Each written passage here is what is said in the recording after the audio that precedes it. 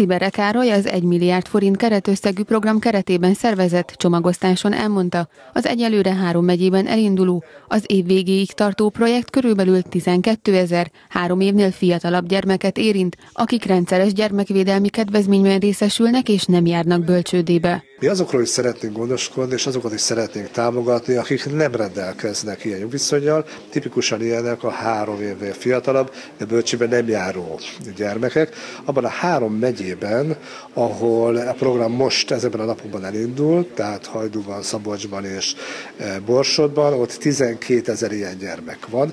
Róluk sem mondhatunk le, őket se szeretnénk az út szélén hagyni, ezért fontos számunkra, hogy ők is részesüljenek egy ilyen segítségben.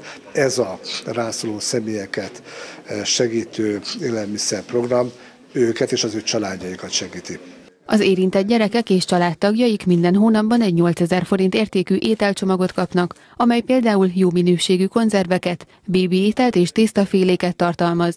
A csomagokat szakemberek osztják ki a rászorulók számára. A mai napnak az a célja, hogy azokkal is foglalkozzunk, akik az intézmény rendszeren kívül vannak, hiszen van olyan szülő, aki, akinek a gyermeke nem jár bölcsődébe, ő, ő van otthon vele, és nekik is azért a, a mindennapi megélhetés időnként gondot okoz.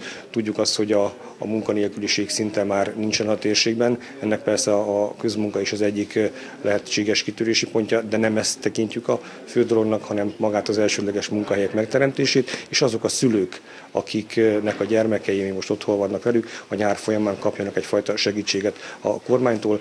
Ez a mérföldkő ezen a mai napon, hiszen itt Vásáros a Berek szívében kezdődött el ez a program. A polgármester hozzátette, az itt élő családokat gyermekjóléti szolgálat és központ is segíti, továbbá új bölcsődét építettek kistérségi pályázati forrásból.